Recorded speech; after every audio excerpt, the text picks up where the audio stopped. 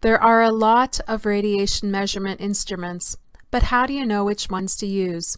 Well, it all depends on the situation.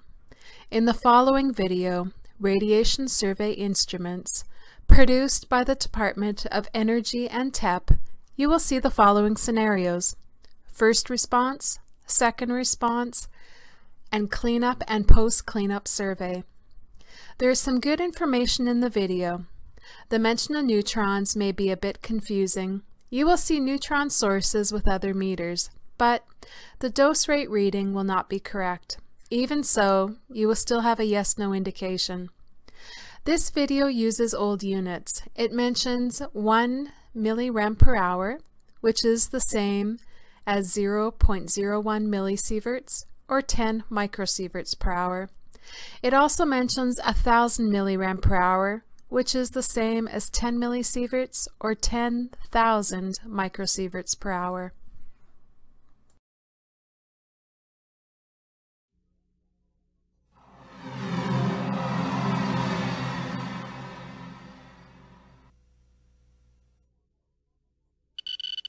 As a first responder, you are probably accustomed to using detection equipment to help better quantify hazardous materials at an incident scene. If you suspect radioactive materials may be involved at an incident, radiological survey instruments can help you quantify the radiological hazard. As with other types of monitoring equipment, it is important that you are properly trained on how to use your radiological survey instrumentation. There are two broad categories of radiological survey instruments. Those designed to measure radiation exposure and those that are designed to detect radioactive contamination.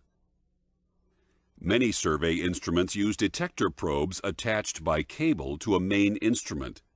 These instruments have the ability to measure either radiation exposure or detect contamination, depending on which type of probe is attached to the survey instrument.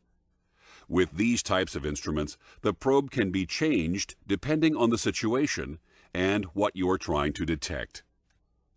Most survey instruments have speakers which provide the technician with audio indications of the presence of radiation or contamination. It is normal to hear some clicking even in a clean area. This is due to natural background radiation. When the instruments find radioactive material, the clicking can and will speed up. Do not become alarmed at rapid clicking. Many of these instruments are sensitive and the actual amount of material may be very small, thus posing no significant danger to anyone. At an incident scene, it is important that you select the correct type of instrument to assess radiation exposure levels present and to check for radioactive contamination. Let's first look at instruments used to measure radiation exposure. Radioactive material can emit alpha, beta, gamma, or neutron radiation, or even a combination of these. Gamma and neutron radiation have the ability to penetrate the body, potentially causing harm. Exposure rate survey instruments typically read out in units of microRöntgen or milliroentgen per hour and are designed to measure the intensity of the penetrating gamma radiation field. Remember, you may be exposed to radiation at an incident scene even when packages are intact. The radiation exposure levels you may encounter can be quite high. Exclusive use vehicles may be transporting packages reading up to 1,000 millirems per hour on contact. Use the concepts of time, distance, and shielding to accomplish the emergency response goals while minimizing your radiation exposure. An exposure rate survey instrument enables you to assess whether the radiation levels you detect are consistent with the vehicle placarding and the warning labels or markings found on the packaging. Remember, radioactive warning labels are designed to inform you of the potential radiation levels present. And for yellow 2 and yellow 3 labels, the transport index number tells you the expected radiation level 1 meter from the package. When your exposure survey measurements don't match the package labeling, this could be an indication that the package has been breached or the source may be missing. If an incident involves material that would emit neutrons, very specialized instruments are required. If you're interested in further information on instrument design or selection criteria, contact your state or local radiation authority for more information. In areas where the radiation levels are elevated, or if you suspect breached packages, swipes or smears may be taken, removed to an area where the surrounding radiation levels are near normal background, and measured to detect any removable contamination that may be present. Let's take a look at contamination survey instruments and methods for taking contamination surveys. Contamination survey instruments usually read out in counts per minute, or CPM, and are used to detect the presence of radioactive material. Remember, contamination is radioactive material in an unwanted location. Radiation is the energy. Contamination is the material. Most contamination instruments will usually have some type of open window, like the one shown here, that will allow alpha and beta radiation to be detected in addition to penetrating gamma radiation. This type of probe is often referred to as a Frisker or pancake GM probe. There are a variety of contamination probes available, and not all probes are alike. Some detectors are designed specifically to detect only certain types of radiation. For example, the detector shown here is designed specifically to detect alpha radiation, but it cannot detect beta or gamma radiation. You should consider monitoring for contamination if you suspect that radioactive material has been released in an accident. An example would be a breached shipping package. Shipping packages, whether breached or intact, will most likely be giving off penetrating gamma radiation. This is due to the radioactive material inside the package and may not be a result of contamination. Because of this, direct contamination monitoring of a package is difficult, if not impossible. Contamination monitoring is usually accomplished using the swipe method. Pre-made swipes like the ones shown here are commonly available but a variety of other materials such as paper towels or 4x4s could be used as a wipe material. Protective clothing should always be worn when taking smear samples to minimize the chance of personnel contamination. When conducting a wipe test, use moderate pressure and wipe an area of about 100 square centimeters, which is approximately the size of your palm. Once smears have been taken, they should be kept separate to avoid cross-contamination. Smear packets, similar to the ones shown here, make this easy and are available from a variety of vendors. If pieces of cloth or paper towel are used, they can be kept separate by using plastic storage bags. Data should be maintained indicating the date and location of each smear sample. Smears can be counted in the field using a contamination survey meter. The smears should be counted in a low background area by properly trained personnel. You should become familiar with your jurisdiction or state's guidelines for when an object is considered contaminated. For example, some jurisdictions use twice background or 100 CPM above background as a positive indication of contamination. Another important use of contamination survey instruments is checking responders and equipment for radioactive contamination upon exiting the control zone. However, it would be hard to determine if someone is contaminated if the area in which they were standing was in a radiation field. For example, assume the contamination shown here on this napkin is on your skin or clothing. In a low background area, the contamination is easy to detect. However, if you were to stand next to a radiation source or in a field of radiation, it becomes much more difficult to distinguish the contamination from the high background rate caused by the radiation source.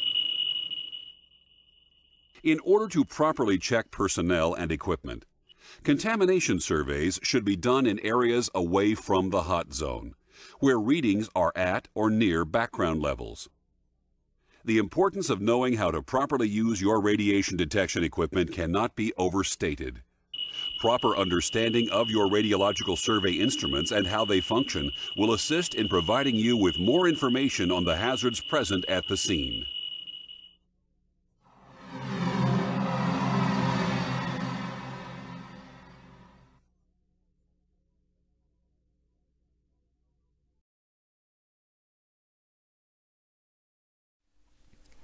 So, if we look at the CNSC guidance for an emergency situation, CNSC says that up to 1000 millisieverts per hour is okay, as long as you limit your time. So you should have a meter that can measure that high. Not a lot of gamma meters out there can. Most of them are exposed for use in occupational situations where the worker is continually exposed at low radiation dose rates. They are not designed for emergency situations where you can limit the time in a high radiation area. Interestingly enough, the two gamma meters shown in the CNSC poster get nowhere near 1000 millisieverts an hour. One goes to 10 millisieverts an hour and the other to 2 millisieverts an hour. Those are not very high dose rates for acute exposure scenarios certainly orders of magnitude below the dose rate from an X-ray or a CT scan.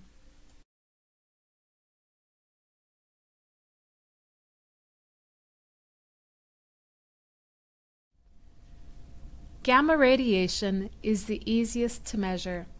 Meters are rugged and most radioactive material has some gamma or neutron field associated with it. Gamma is the main hazard as long as you don't ingest any radioactive material. Probably most importantly, the instrument has to be cheap enough and ergonomic enough so that you actually have it when you need it. You want to be able to use the meter and make sense of the results years after you've taken this course. You don't want your meter to overrange at trivial doses. And you want to know the limitation of your instrument.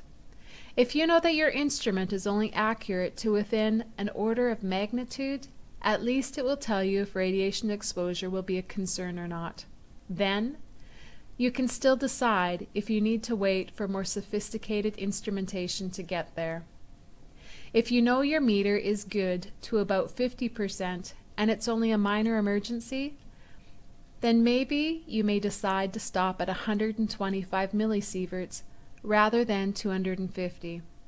My point is that you need to know your instrument's limitations so that you can make informed decisions.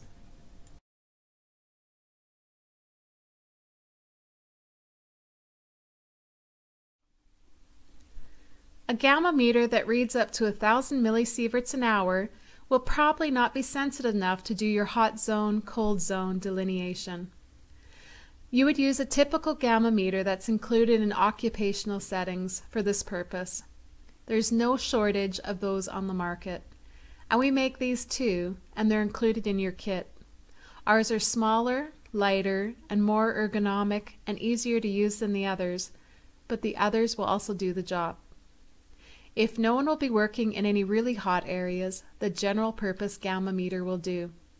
Otherwise, you need something designed for higher dose rates like our Gamma Guard app.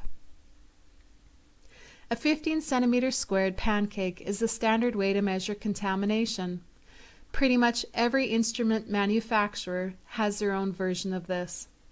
We have one too, which we think is smaller, more ergonomic, and easier to use. There are two types of personal dosimeters. There are the type that you send in to get read out, and then there are the direct reading ones. The send-in ones are cheap and accurate, but you don't get the results until a month after you finish the job. So they are useless at dose control. Our Gamma Guard app can be used as a direct reading dosimeter, and so can all of our other gamma meters. Again, it's very important that the dosimeter can respond to the dose rates present. At this stage, there will be someone from the CNSC or another authority guiding the process.